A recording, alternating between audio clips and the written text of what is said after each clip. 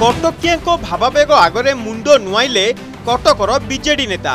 କଟକିଆଙ୍କ ଚାପରେ ଅସହାୟ ବିଜେଡି ନେତା। ମୂର୍ତ୍ତି ଉଚ୍ଚତା ପ୍ରସଙ୍ଗରେ ପୁନର୍ବାର ସରକାରଙ୍କୁ କରିବେ ଅନୁରୋଧ। ମୂର୍ତ୍ତି ଉଚ୍ଚତା ନେଇ ସରକାରଙ୍କୁ ବୁଝାଇବାରେ ବିଫଳ ହୋଇଥିବା କହିଲେ ପ୍ରଭାତ ତ୍ରିପାଠୀ। ଅର୍ଗସର ପ୍ରଶ୍ନକାଳ କାର୍ଯ୍ୟକ୍ରମରେ ଭାଗ ନେଇ ସେ ଏହା କହିଛନ୍ତି। ଅପରିବର୍ତ୍ତିତ ରହିବ ନଅ ତାରିଖର ନିଷ୍ପତ୍ତି ବୋଲି ଉଚ୍ଚତା କ୍ଷେତ୍ରରେ ଏବଂ ଅନ୍ୟ ସମସ୍ତ କ୍ଷେତ୍ରରେ ଯେଉଁ ସରକାରଙ୍କର ନିଷ୍ପତ୍ତି ଆସିଲା ସେ ନିଷ୍ପତ୍ତି ଶୁଣିଲା ପରେ ଆମେ ଭାବୁଛୁ କେଉଁଠି ନା କେଉଁଠି ବୋଧହୁଏ ଆମେ ସରକାରଙ୍କୁ ବୁଝେଇବାରେ ଆମର ତ୍ରୁଟି ରହିଗଲା।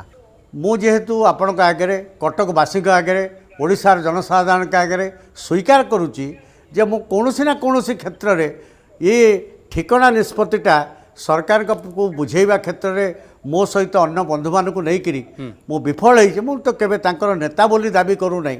ତାଙ୍କର ସହଯୋଗୀ ଭାବରେ ଯେହେତୁ ବିଫଳ ହେଇଛି ପୁଣି ଉଦ୍ୟମ କରିବି। ସରକାରଙ୍କ ନିଷ୍ପତ୍ତିକୁ ସହଜରେ ଗ୍ରହଣ କରିପାରୁନାହାନ୍ତି କଟକ ବାସିନ୍ଦା। କଟକିଆଙ୍କ ଭାବାବେଗକୁ ବୁଝୁନଥିବା ଲୋକେ ନିଷ୍ପତ୍ତି ନେଲେ ଏପରି ସ୍ଥିତି ହୁଏ ବୋଲି କହିଛନ୍ତି କଟକବାସୀ। କରୋନା ବ୍ୟାପିବା ପଛରେ ମୂର୍ତ୍ତି ଉଚ୍ଚତାର କ'ଣ ସମ୍ପର୍କ ରହିଛି ବୋଲି ପ୍ରଶ୍ନ କରିଛନ୍ତି କଟକ ବାସିନ୍ଦା। ଯାହାର ଉତ୍ତର ମିଳୁନି। ଆଜି ଦିନ ତମାମ ବିକ୍ଷୋଭ କରିବେ କଟକ ବାସିନ୍ଦା।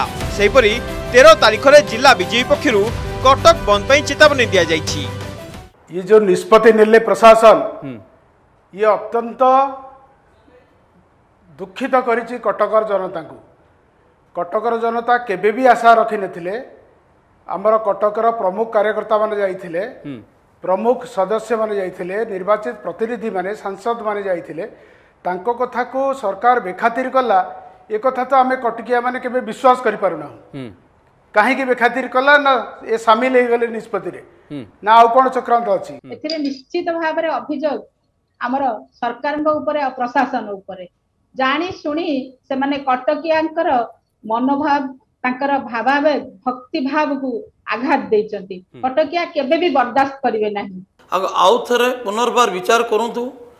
ଯଦି ଏଇ ଚାରି ବୁଢ଼ୀ ମୂର୍ତ୍ତିକି ନେଇକି ଯଦି ସରକାର କୌଣସି ଆଗକୁ ଚିନ୍ତା ନ କରନ୍ତି ନିଶ୍ଚିନ୍ତ ଆଗାମୀ ଦିନରେ ବିଜେପି ହଉ କଂଗ୍ରେସ ହଉ ଯେଉଁ ଦଳ ହଉ କଟକ ବନ୍ଦ ଡାକରା ଡିକ୍ଲାର ଦେଲେ ଆମେ ନିଶ୍ଚିନ୍ତ ତାଙ୍କୁ ସମର୍ଥନ କରିବୁ। ତେବେ ନିଷ୍ପତ୍ତିର ପୁନର୍ବିଚାରରେ କଟକିଆଙ୍କ ଭାବାବେଗକୁ ସରକାର ସମ୍ମାନ ଦେଉଛନ୍ତି କି ନାହିଁ ଦେଖିବାକୁ ବାକି ରହିଲା।